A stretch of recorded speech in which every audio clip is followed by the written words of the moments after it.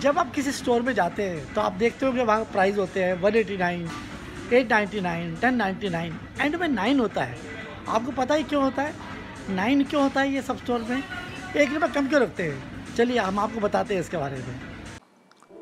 इस तरह की कीमतों को अक्सर charm prices odd prices magic prices या साइकोलॉजिकल प्राइसेस कहते हैं, और इन सब के प्राइस टैग नो की संख्या पर ख़त्म होते हैं।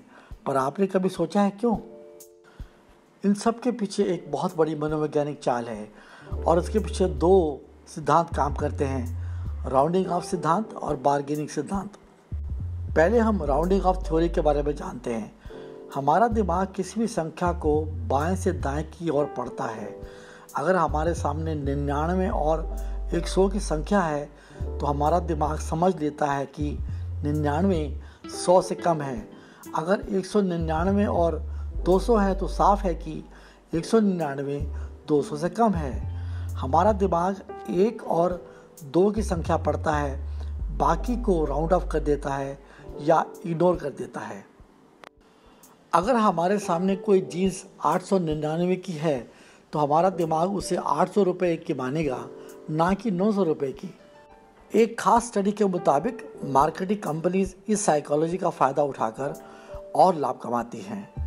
उदाहरण के लिए, अगर किसी वस्तु की कीमत दो सौ उनचास रुपये है और उसकी कीमत बढ़ाकर दो सौ निन्यानवे कर दी जाती है तो उसकी सेल पर कोई बुरा प्रभाव नहीं पड़ता।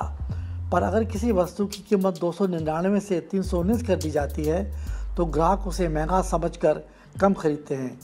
यहाँ तीन की संख्या दो से ज़्यादा है और ग्राहक के दिमाग में उसे ज़्यादा महँगा समझा जाता है, जबकि दो सौ उनचास से दो सौ निन्यानवे होने पर ग्राहक के दिमाग में दो की संख्या दो ही रहती है और उनचास से निन्यानवे को उसका दिमाग इग्नोर करता है।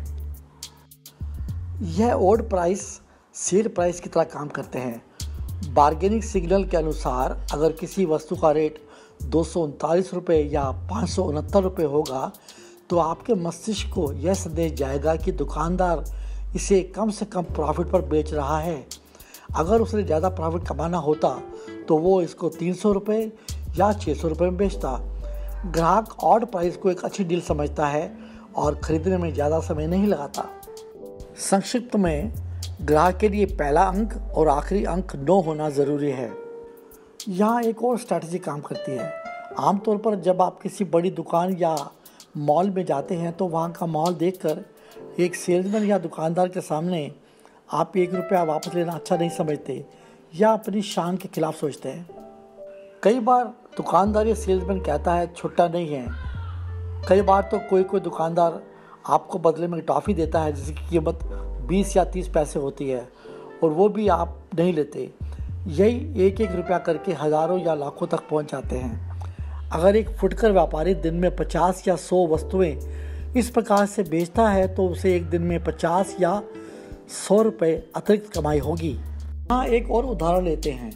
एक बड़े रिटेल चेन की देश में 400 स्टोर्स हैं। अगर हर स्टोर में कम से कम 100 बार ऐसा होता है कि लोग एक रुपया छोड़ दे तो एक साल में 400 गुणा सौ गुणा तीन करके एक करोड़ अड़तालीस लाख का अनअकाउंटेड पैसा या तो कैशियर की जेब में जाएगा या स्टोर की। और यह सब ब्लैक मनी है।